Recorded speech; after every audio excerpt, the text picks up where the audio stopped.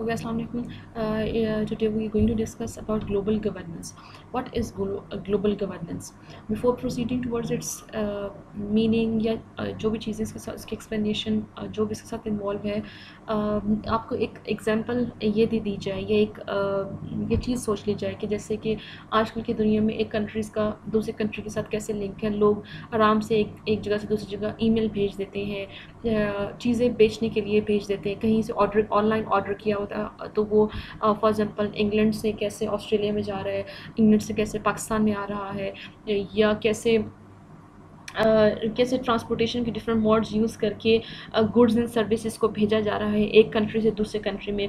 कैसे लैंड को यूज़ किया जा रहा है एयर को यूज़ की जा, किया जा रहा है सी को यूज़ किया जा रहा है, कैसे क्रॉस बॉर्डर एक्टिविटीज़ के लिए क्रॉस बॉर्डर एक्सचेंजेस के लिए कैसे एक लोग एक मुल्क के लोग दूसरे लोगों के साथ इंटरेक्शन में।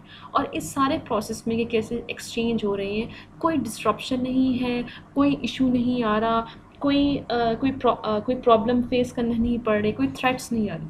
तो it is it has it is being it is being made possible only because of that that process of global governance globally कोई गवर्नमेंट नहीं बनी हुई जिसने कोई रूल बनाया होगा कि ये कंट्री इस कंट्री के साथ ऐसे ट्रेड करेगा, ये कंट्री इस कंट्री के साथ ऐसी चीज़ें एक्सचेंज करेगा, उनके लोग आपस में एक दूसरे से ऐसे इंटरेक्ट करेंगे, ऐसे एक्सचेंज करेंगे, ऐसे जो है वो उनकी चीज़ें जो है वो land air sea space land air sea के ज़रिए से वो कैसे एक कंट्री दूसरे कंट्री में जा रही है। कोई गवर्नमेंट नहीं बनी हुई, लेकिन फिर भी वो कोई particular rules and regulation follow कर रहे हैं और वो उन रूल्स एंड रेगुलेशन को फॉलो करने की बेसिस पे वो कैसे ट्रेड कर रहे हैं, वो कैसे कल्चरल एक्सचेंजेस हो रहे हैं, कैसे स्टूडेंट एक्सचेंजेस प्रोग्राम्स हो रहे हैं, कैसे जो है वो एक कंट्री का दूसरे क्रॉस बॉर्डर इंटरेक्शन हो रही हैं क्रॉस बॉर्डर एक्टिविटीज़ हो रही हैं, और लोगों को इस चीज़ किस की तरह से जिस, और जिसके अंदर लोगों की सेफ्टी का भी ख्याल रखा जा रहा है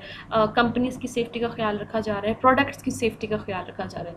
हालाँकि कोई गवर्नमेंट कोई ग्लोबल गवर्नमेंट नहीं है सो so, कि जो कि रूल्स बनाएगी या रेगुलेशन बनाएगी। So it is being make possible only because of that process of global governance and what is that global governance that global governance is basically the sum of laws ठीक है?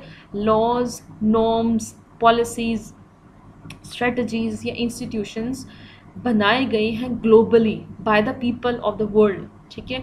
किसके ज़रिए से different international उनके दरमियान में relationship transnational relations हुए हैं, उनकी बेसिस पे इंटरनेशनल ऑर्गेनाइजेशंस बहुत सारे इन्वॉल्व हैं, उनके इंटरेक्शन की वजह से डिफरेंट कैसे सोसाइटीज़ सिटीजन्स मार्केट्स और जो स्टेट्स हैं वो इंटरनेशनल सिस्टम में कैसे उनका आपस में रबता मुमकिन हुआ है और उस रबते की वजह से उन्होंने क्या किया है? कैसे जो इंटरनेशनली उन्होंने नॉर्म्स रूल्स रेगुलेशंस और ये सिस्टम बनाया है, ठीक है? और उसकी वजह से वो क्या कर रही हैं? इजीली एक्सचेंज हो रहा है उनका। Although is no any global government but on the basis of that global governance system which is the sum of the laws rules policies expectations जो कि स्टेट ने, लोगों ने सोसाइटीज़ ने डिफरेंट ऑर्गेनाइजेशंस ने आपस में इंटरनेशनली मिल के बनाई है। Okay what is that basically governance इसकी क्या आप डेफिनेशन कह सकते हैं? It is a purposeful order that emerges from institutions processes norms formal agreements and informal mechanisms that regulate action for a common good कि वो एक्शन को regulate कर रहे हैं किसी भी पर्टिकुलर कॉमन गुड को अचीव करने के लिए। ठीक है कि एक ऑर्डर बना दिया गया है, एक वर्ल्ड ऑर्डर बना दिया गया और उस वर्ल्ड ऑर्डर का पर्पज़ क्या है कि पीसफुली कैसे कंट्रीज़ का आपस में रिलेशनशिप मेंटेन होंगे, कैसे पीसफुली एक कंट्री का दूसरे कंट्री के साथ इंटरेक्शन होगा, उनके आपस में एक्सचेंजेस होंगे goods and services cross border exchange होंगे राइट और ये ऑर्डर कैसे इमर्ज हुआ है? डिफरेंट इंस्टीट्यूशन की वजह से डिफरेंट एग्रीमेंट्स हुई हैं डिफरेंट कंट्रीज़ के दरमियान में। वो एग्रीमेंट्स फॉर्मल एग्रीमेंट्स भी हैं, वो एग्रीमेंट्स इनफॉर्मल भी एग्रीमेंट्स हैं, जो कि क्या कर रही हैं, उस लोगों के कंट्रीज़ के सिस्टम्स के मार्केट्स के एक्शंस को रेगुलेट कर रही हैं, उनके एक्शंस को कंट्रोल कर रही हैं।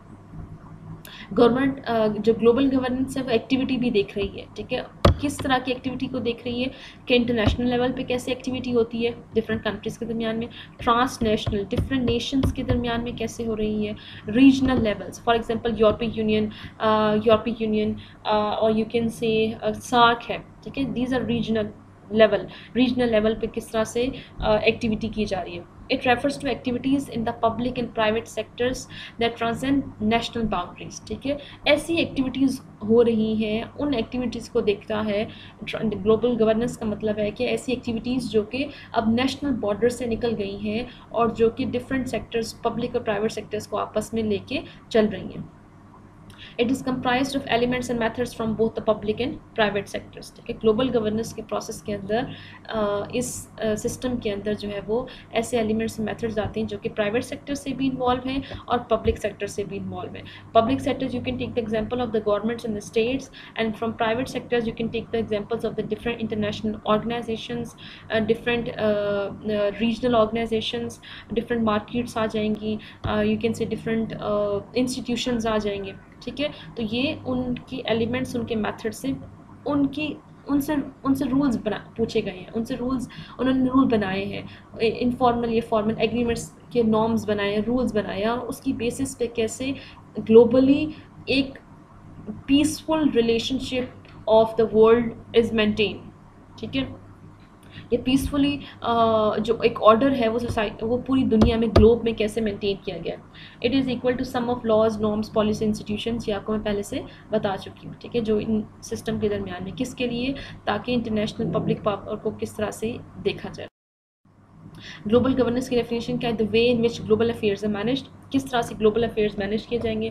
फॉर एग्जांपल ट्रांसपोर्टर एक्सचेंजेस कैसे होंगे? ये transporter exchanges either are of people है, लोगों का एक्सचेंज हो रहा है पब्लिक एंड गुड्स का एक्सचेंज हो रहा है, या यू कैन से कि कैसे रिलेशनशिप मेंटेन हो रहे हैं और वो किस ज़रिए से होंगे? उन जो एक्सचेंजेस हो रहे हैं, उन एक्सचेंजेस के पीछे कौन से रूल्स बने हुए हैं, कौन से रेगुलेशंस बने हुए हैं, कौन से सिस्टम इन्वॉल्व हैं? अच्छा कोई ग्लोबल गवर्नमेंट गवर्नमेंट नहीं है पूरी दुनिया में जो वो रेगुलेट करेंगे, बल्कि ग्लोबल गवर्नेंस का सिस्टम इन्वॉल्व है, जिसका मतलब क्या है कि जिसके अंदर रेंज ऑफ़ एक्टर्स हैं। बहुत सारे एक्टर्स इंक्लूडिंग हैं। स्टेट है पब्लिक है प्राइवेट सेक्टर्स हैं मार्केट्स हैं इंस्टीट्यूशंस हैं इंटरनेशनल ऑर्गेनाइजेशंस हैं इंटरनेशनल नॉन गवर्नमेंटल ऑर्गेनाइजेशंस हैं ट्रांसनेशनल ऑर्गेनाइजेशंस हैं डिफरेंट कॉपरेशंस हैं। ठीक है? These are range of actors including state as well regional international organisations single organisation में be given the lead role as an on issue अब इस global governance के process की वजह से क्या हुआ कि कोई भी एक ऑर्गेनाइजेशन जो है, कोई भी इंस्टीट्यूट को एक लीड रोल मिल सकता है। That role is not the dominant one ठीक है? जो हम ये कि उसको हम गवर्नमेंट का स्टेटस नहीं दे सकते, हम उसको कोई डोमिनेंट नहीं दे सकते। But what they're doing is that they are trying to maintain the relationship, they are trying to maintain the peaceful order within the country so अगर हम इसकी बात करते हैं तो इसके अंदर एग्ज़ाम्पल आ जाएगी, जो लीड रोल आजकल की कि world overall the globally present है that is united the united world trade organisation ठीक है जिसका uh, काम होगा वर्ल्ड ट्रेड अफेयर्स में या आप एग्जांपल दे सकते हो। अब वर्ल्ड ट्रेड ऑर्गेनाइजेशन का किसमें रो, रोल है? वर्ल्ड ट्रेड अफेयर्स में। राइट यूनाइटेड नेशन का रोल होगा डिफरेंट कंट्रीज़ इसमें इन्वॉल्व होंगी और वो डिफरेंट इश्यूज़ को लेके जाएँगे। हेल्थ का भी है इन्वायरमेंट uh, से भी रिलेटेड है न्यूक्लियर प्रोलिफिलेशन से भी रिलेटेड है डिफरेंट इश्यूज़ के साथ लिंक है। Global governance is an international process of consensus अब कंसेंसस फॉर्मिंग हुई। कोई गाइडलाइंस पर्टिकुलर बनाई थी कोई पर्टिकुलर एग्रीमेंट बनाया गया था उस गाइडलाइंस और एग्रीमेंट के ऊपर सब ग्लोब के जितने भी लोग हैं, जितने भी स्टेट हैं, उन लोगों ने एक एक मेजॉरिटी कंसेंसस दिया है, ठीक है? और उस कंसेंसस की बेसिस पे कंट्रीज़ का आपस में किस तरह से फिर रिलेशनशिप बिल्ड हुआ हुआ है? कंट्रीज़ का आपस में एक दूसरे के साथ कैसे ट्रेड हो रही है? कैसे रिलेशनशिप मेंटेन हो रहे हैं? कैसे एक्सचेंजेस हो रहे हैं? अब इसमें example the example of such consensus would include W H O policies on health issues ठीक है? कैसे कंसेंसस हुई है? एक कंसेंसस यू कैन से कि लोगों की कैसे एग्रीमेंट हुई है? एक किसी भी पॉलिसी के ऊपर वो लोग राज़ी हुए हैं। और वो पॉलिसी कैसे थी for example related to health और वो पॉलिसी किसने बनाई? मतलब किसके अंडर हुई? कौन लीड एक्टर था उस टाइम उस इन पॉलिसीज़ को बनाने में? W H O world health organisation ठीक है? तो वर्ल्ड हेल्थ ऑर्गेनाइजेशन ने कुछ पॉलिसीज़ बनाई, उस पॉलिसीज़ को सबने एग्री एग्री किया इन मेजॉरिटी और उन पॉलिसीज़ के ऊपर फिर सारी कंट्रीज़ कैसे एक्ट कर रही होंगी? It aid in helping to solve any challenges within the international system ठीक है? कोई भी चैलेंज अगर आते हैं पूरी दुनिया में इंटरनेशनल सिस्टम में, उसको कैसे सॉल्व किया जाए? जब भी कोई कश्मीर का इशू होता है, जब भी कोई पैलेस्टीन का इशू है you can take example of Myanmar में जब रोहिंग्या मुस्लिम्स का एक इशू था, उसको कैसे लेके गए? उसको ग्लोबली कैसे यूनाइटेड नेशन में उठाया जाता है? या जब भी किसी कंट्री का, दूसरे कंट्री के साथ कोई कॉन्फ्लिक्ट होता है तो वहाँ पर कैसे इशू लिया जाता है? लेके जाया जाता है। किसके लिए? ताकि एक अच्छे तरीके से किसी भी प्रॉब्लम को सॉल्व किया जाए uh, mm, you can say any action जो कि बहुत ज़्यादा नुकसान नुकसानदेह होगा किसी भी कंट्री के लिए ठीक है? या इंटरनेशनली कोर्ट ऑफ़ जस्टिस बना हुआ है वो कैसे डिफरेंट प्रॉब्लम्स को लेके चलता है? इंटरनेशनली डिफरेंट कंट्रीज़ के आपस में वहाँ पे इश्यूज़ uh, लिए जाते हैं देखे जाते हैं और उनको कैसे सॉल्व किया जाता है? इंटरनेशनल सिस्टम में कोई से भी चैलेंजेस आ रहे हैं, उनको कैसे सॉल्व किया जाएगा? Seeks to examine gaps in the international system for managing complex issues ठीक है? कि अगर कोई गैप आ रहा है इंटरनेशनल सिस्टम में जो चल रहा है तो उसको कैसे सॉल्व किया It brings together diverse actors to coordinate collective action at the level of the planet. किस तरह से different actors इकट्ठा लाया जाएगा उनके एक्शन को कैसे उस अर्थ इस ग्लोब में जितने भी लोग रह रहे हैं उनकी बेनिफिट के, के तो, की तरफ़ लेके to engage stakeholders on particular steps for collective problem solving ठीक है कि उस इशू से रिलेटेड जितने भी लोग इन्वॉल्व हैं उस इशू से रिलेटेड जितने भी लोग कंसर्न पीपल हैं उनको स्टेक होल्डर्स हम कहेंगे कि उन स्टेक होल्डर्स को प्रैक्टिकल स्टेप्स पे लाया जाए। प्रैक्टिकल स्टेप्स पे लाया जाए प्रैक्टिकली इम्प्लीमेंटेशन की तरफ़ उनको लेके जाया जाए ताकि उस प्रॉब्लम को सॉल्व किया जाए। It is concerned with attention to informing uh, successful multilateral uh, negotiations reforming global institutions कि डिफरेंट निगोसिएशंस होंगी ताकि ग्लोबल इंस्टीट्यूशंस को बनाया जाए या रिफॉर्म किया जाए। Is the goal of uh, global governance? To provide good public global public goods particularly peace and security. ठीक है? पब्लिक uh, गुड्स को कैसे प्रोवाइड किया जाए ग्लोबली पूरी दुनिया में सब लोगों को और उस पब्लिक गुड्स के अंदर सबसे मेन चीज़ है सबसे जो इम्पोर्टेंट वन है that is about the peace and security और क्या गोल है कि जस्टिस कैसे लिया जाए मीडिएशन सिस्टम डेवलप किया जाएगा कोई कॉन्फ्लिक्ट आता है, जैसे अगर हम यमन की बात करते हैं, सीरिया की बात करते हैं तो अगर कोई वहाँ पर कॉन्फ्लिक्ट चल रहा है तो वो कैसे वो कॉन्फ्लिक्ट यूएन में रेज किया जाएगा और उसके ऊपर कैसे डायलॉग होगा या उसके ऊपर कैसे कंसेंसस डेवलप किया जाएगा, कोई एग्रीमेंट किया जाएगा। फंक्शनिंग मार्केट्स क्या गोल होगा, देखा जाएगा कि मार्केट्स जो फ़ंक्शन की जा रही है, वो किस तरह से होंगे? उन इंटरनेशनल मार्केट्स के अंदर रेट क्या होंगे? ग्लोबल एक्सचेंज जो प्रोडक्ट्स के और स्टैंडर्ड्स बनाया जाएगा। ट्रेड का और इंडस्ट्री का। ट्रेड और इंडस्ट्री का कौन सा सिस्टम बनाया जाएगा? यूनिफाइड स्टैंडर्ड बनाया जाएगा। Global public good is catastrophic risk management ठीक है? रिस्क मैनेजमेंट देखा जाएगा, कैसे हमने कोई अगर इवेंट आता है, कोई भी अगर डैमेज अगर है तो उस भी हमने उस रिस्क की कैसे मैनेजमेंट करनी राइट जैसे आजकल अगर हम बात करते हैं कि कोरोना वायरस की वजह से फिर डिफरेंट इंस्टीट्यूशन कैसे आपस में मिलकर बैठ रहे हैं कभी W H O different countries consensus ले रहा है कभी कोई इंस्टीट्यूशन ले रहा है और उस कंसेंसिस की बेसिस पे वो फिर आ, या हम देते हैं डिफरेंट इंटरनेशनल ऑर्गेनाइजेशन हैं एजेंसीज हैं जो डिफरेंट कंट्रीज़ को लोन्स प्रोवाइड करती हैं वो कैसे उस इस सिचुएशन में उन लोन को थोड़ी देर के लिए रोक रही कि बेशक आप हमें वो लोन ना दें अब और आप अपनी उस कंट्री में उस कोरोना वायरस की सिचुएशन को पहले टैकल करें, अपने इकोनॉमी को स्टेबलाइज करें and then you can give give us back the loan which we have given to you category global governing institution की वो हमारे पास हैं।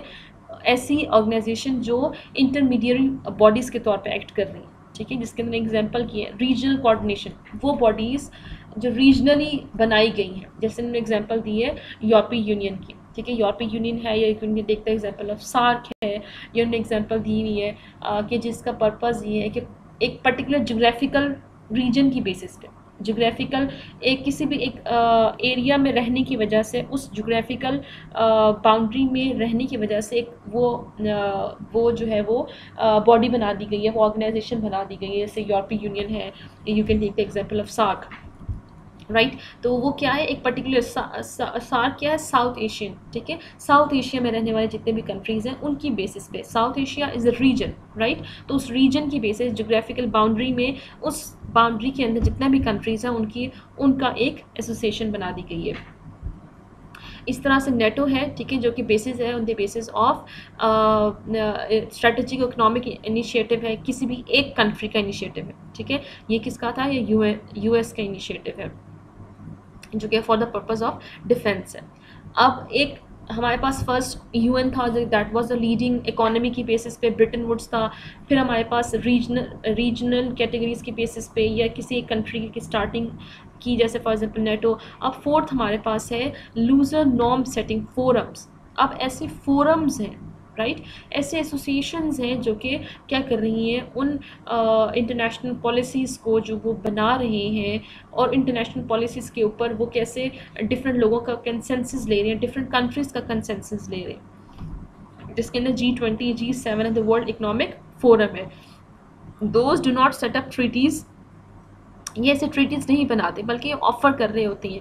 ये एक अपॉर्चुनिटी दे रहे होते हैं लोगों को कि वो आए, वो बैठें, वो डिस्कशन करें, वो डिफरेंट आइडियाज़ दें, वो पॉलिसीज़ ऐसी बनाएँ, वो ऐसे नॉर्म्स बताएँ, ठीक है? कि जिसकी वजह से एक ग्लोबल स्टैंडर्ड बन जाए किसी भी पर्टिकुलर प्रॉब्लम को एलिमिनेट करने के लिए, या किसी भी पर्टिकुलर यू कैन से के पर्पस को अचीव करने के लिए गोल को अचीव करने के लिए। अब there different gaps in global governance अब ये जो ग्लोबल गवर्नेंस का प्रोसेस है, जिसके अंदर कहते हैं कि हमने पर्टिकुलर नॉर्म्स बनाए हुए सेटिंग्स बनाए हुए रूल्स बनाए हुए, उनकी इंप्लीमेंटेशन की जाए कि एक पर्टिकुलर वर्ल्ड ऑर्डर मेंटेन हो तो उसके अंदर डिफरेंट गैप्स आ जाते हैं. Knowledge gaps normative gaps policy gaps institutional gaps and the compliance knowledge have the normative gaps. Normative gaps is basically after understand जब तक, जब हमें उस इशू के बारे में पता चल जाएगा। तो हमें उस इशू को सॉल्व करने के लिए उस इशू को आ, सही तरह देखने के लिए नॉर्म्स बनाए बनाने चाहिए बनाए जाने चाहिए ठीक है? उसके ऊपर हमने यह कहना कैसे देखना है कि कैसे उसको सॉल्व किया जाएगा राइट?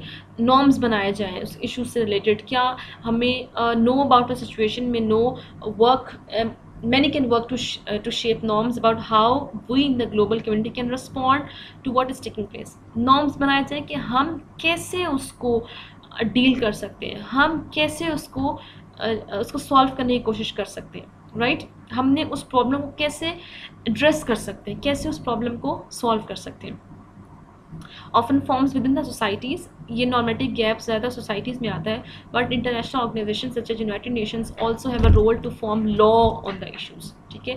वो लॉ बना सकते हैं उस इशू के ऊपर। Norms are important they matter because people citizen are as well politicians and officials care about what others think of them norms बनाना बहुत ज़रूरी है, क्योंकि जब तक नॉर्म्स की सोसाइटी के अंदर नहीं होते, तब तक वो एफिशिएंटली वो फंक्शनिंग नहीं हो रही होती है। ऑर्गेनाइजेशंस इंटरनेशनल ऑर्गेनाइजेशन या इंडिविजुअल्स आपस में मिलके उस प्रॉब्लम से रिलेटेड नॉर्म्स बना सकते हैं, उस इशू से रिलेटेड नॉर्म्स बना सकते हैं, ठीक है? चाहे वो इशू ट्रेड से रिलेटेड हो इकोनॉमी से रिलेटेड हो इन्वायरमेंटल इशू से रिलेटेड हो ह्यूमन राइट से रिलेटेड हो as well as many other issues then it is related to the policy gaps. Are related to the specifically policies that one can implement in order to address the stated problem ठीक है policy क्या है the articulated and linked set of governing principles and goals and the agreed programs of action to implement those principles and achieve those goals कैसे policies बनाई जाए उसके ऊपर कोई particular policy बनी ही नहीं है उसके ऊपर कोई पर्टिकुलर जो है वो कंसेंसस ही नहीं बना गया उसके ऊपर कोई पर्टिकुलर रूल कोई एक सही तरीके से सेट स्टैंडर्ड ऑफ़ पॉलिसी नहीं बना कि हमने कैसे उस प्रॉब्लम को सॉल्व करना है. Set of governing principles and goals principle and goals नहीं बने हुए. एग्रीड प्रोग्राम ऑफ़ एक्शन नहीं बना हुआ कि हमने कोई कोई एग्रीमेंट ही नहीं हुई हुई कि हमने इस प्रॉब्लम कैसे, इस तरीके से सॉल्व करना है. कोई एक्शन ही नहीं बनाया गया. पॉवर्टी देखी थी, वहाँ उससे रिलेटेड नॉर्म्स बनाए गए. फिर उससे रिलेटेड अब उसको रिमूव करने के लिए कोई एक्शन ही नहीं डेवलप किया गया. Right right? तो जब तक वो एक्शन ही नहीं डेवलप किया गया, तब तक हम ग्लोबल गवर्नेंस का प्रोसेस सही तरीके एफिशिएंटली फ़ंक्शन नहीं कर सकता sometime actor such as states for example may have very interest with regards to a conflict thus making policy more difficult to establish multilaterally right कभी कभी ऐसे होता है कि जैसे स्टेट है, उस स्टेट का कोई डिफरेंट इंटरेस्ट होते हैं, उसके different you can say reason उस प्रॉब्लम से रिलेटेड हो सकते हैं with regard to a conflict इस वजह से कभी कभी उस पॉलिसी को इस्टेब्लिश करना बहुत ज़्यादा मुश्किल हो जाता है। एक तरफ़ ये भी इशू हो जाता है it is also issue when states are making policy without including members of the civil society कभी कभी पॉलिसी गैप एक तो ये पॉलिसी गैप है प्रॉपरली कोई गोल्स एंड प्रिंसिपल नहीं बनाए गए। कोई कोई एक लोगों की, लोगों के साथ एग्रीमेंट के बाद कोई एक्शन नहीं बनाया गया, कैसे हमने उसको इम्प्लीमेंट करना है? कोई सिविल सोसाइटी को इंक्लूड नहीं किया गया उस पॉलिसी को बनाने के लिए। क्योंकि सिविल सोसाइटी बहुत ज़्यादा इंपॉर्टेंट रोल प्ले कर सकती है, उनके पास इंफॉर्मेशन होती है टू द स्मॉलर लेवल ठीक है?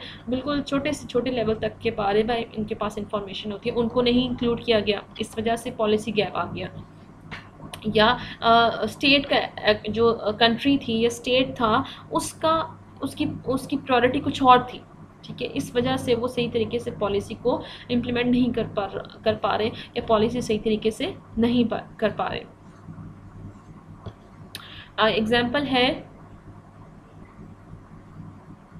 कि कैसे जनरल असम्बली की डिफरेंट रेजोल्यूशंस होती हैं या यूनाइटेड नेशन की डिफरेंट ट्रीटीज़ होती हैं वो पॉलिसी की फॉर्म इंस्टीट्यूशन गैप्स क्या है in the form of implementation right policy बना ली। अगर चलो पॉलिसी में कोई गैप नहीं था पॉलिसी बना ली, इस लेवल तक पहुँच गए। नॉलेज गैप ख़त्म हो गया नॉर्मेटिव गैप ख़त्म हो गया पॉलिसी गैप ख़त्म हो गया, अब इंस्टीट्यूशन के लेवल पे आ गए। तो अब क्या हुआ कि प्रॉपर इम्प्लीमेंटेशन नहीं हो रही। प्रॉपरली उसको जो पॉलिसीज़ बनाई गई थी, सही तरीके से उनकी प्रॉपरली इन्फोर्समेंट नहीं हो रही। इन्वायरमेंटल फॉर एग्ज़ाम्पल जैसे हम एग्ज़ाम्पल देते हैं कि इन्वायरमेंटल राइट्स अब्यूज़ हो रही हैं इंस्टीट्यूशनल गैप है, जो नहीं देखा जा रहा है कि जो इन्वायरमेंटल लॉज बनाए गए इंटरनेशनली इन, उन इन्वायरमेंटल लॉज को इंटरनेशनली इन्फोर्स नहीं किया जा रहा, ठीक है?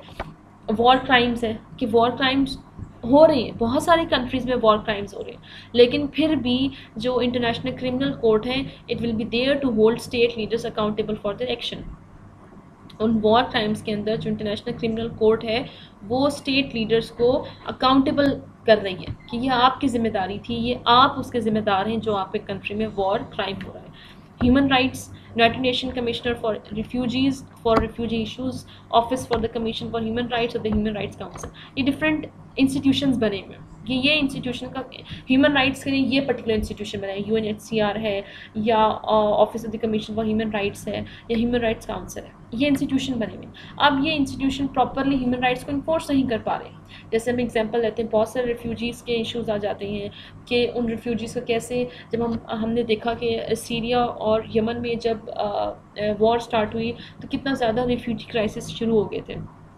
तो रिफ्यूजी क्राइसिस के उस सिचुएशन में कैसे यूएन ने अपना रोल प्ले किया था लेकिन फिर भी आ, सही तरीके से उस उस टाइम पीरियड में रिफ्यूजीज़ के राइट्स की प्रॉपर इम्प्लीमेंटेशन नहीं हो रही थी। कंप्लाइंस गैप ये आ जाएगा कि problems related to effective implementation as well as enforcement ठीक है इन्फोर्समेंट की जाए। कि इन्फोर्समेंट के हिसाब से कि हमने इम्प्लीमेंटेशन तो नहीं हो रही है, उसके साथ साथ वो इन्फोर्स भी नहीं कर पा रहे। They are not giving able to give penalties to the violators जो वायलेशन हो रही हैं, उन वायलेशन की बेसिस पे वो किसी को पेनल्टी नहीं दे रहे, वो किसी को फ़ाइन नहीं कर पा रहे, ठीक है? तो फ़ाइन ना कर पाना भी क्या कर रहा है? ग्लोबल गवर्नेंस के प्रोसेस में वीकनिंग डेवलप कर रहा है। ग्लोबल गवर्नेंस के प्रोसेस को वीक कर रहा है कि वॉर क्राइम्स हो रहे हैं। पता है लेकिन उन वॉर क्राइम्स की बेसिस पे फिर भी कोई फ़ाइन नहीं इम्पोज हो रहा कोई पेनल्टी इम्पोज नहीं हो रही। Cross border movement of terrorist material हो रहा है पर्सनल हो रहा है न्यूक्लियर टेक्नोलॉजी की भी सीक्रेटली uh, उसकी प्रोडक्शन हो रही है सीक्रेटली uh, जो है वो एक्सचेंज हो रहा है। लेकिन फिर भी क्या हो रहा है कि सही तरीके से पता है लेकिन आ, उसको रोका नहीं जा रहा या उसकी बेसिस पे जो है you can say the properly enforcement नहीं हो रही प्रॉपर्टी कोई पेनल्टीज़ इन्फोर्स नहीं की जा रही। जो पेनल्टीज़ अगर इन्फोर्स की जा रही हैं तो सही उनको सही तरीके से उनको कलेक्ट नहीं किया जा रहा उन पेनल्टीज़ का। या जो वायलेशन हो रही हैं इन वायलेशंस को आ, की पनिशमेंट्स नहीं दी जा रही।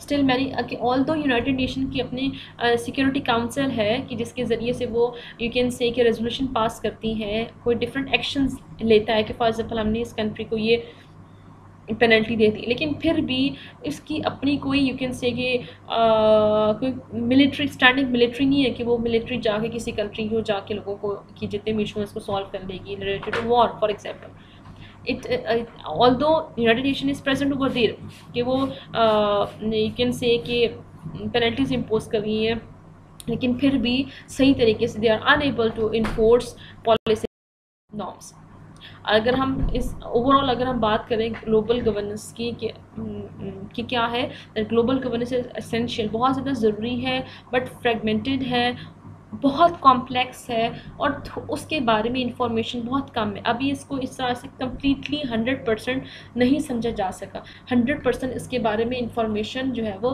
सही तरीके से कंपाइल नहीं की जा सकी। अब आजकल जो है वो आ, अगर हम बात करते हैं ग्लोबल गवर्नेंस की तो उस global governance related different question raise किए जा रहे हैं। The key question raise by the Global Challenges Foundation are अब ग्लोबल चैलेंजेस की फाउंडेशन है। अब ये क्वेश्चन सवाल उठा रही है। और वो सवाल क्या है कि हमने अब इंस्टीट्यूशंस को कैसे रिफॉर्म करना है? पहले से इंस्टीट्यूशन बने हुए हैं, ठीक है?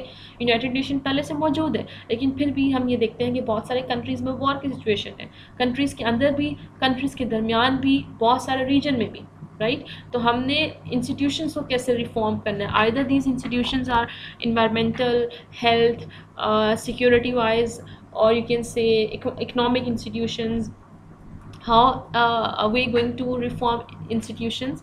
How to develop alternative institutions? Institution कुछ बने हुए हैं लेकिन उसके अल्टरनेटिव भी हमने बहुत सारे इंस्टीट्यूशन बनाने हैं तो वो कैसे बनाने हैं? How to use the new possibility of technology to improve governance अब now it is because it is the process of globalisation it is the age of information technology it is the age of you can say the internet जिसमें अगर हम बात करते हैं technology का बहुत ज़्यादा रोल है तो कैसे हमने टेक्नोलॉजी को यूज़ करना है गवर्नेंस के प्रोसेस को इम्प्रूव करने के लिए, ताकि एक ओवरऑल वर्ल्ड ऑर्डर जो मेंटेन हो, वो सही तरीके से इफ़ेक्टिवली फ़ंक्शन करे। So it was all about the global governance and these are all the references the source resources from which ने was compiled okay thank you so much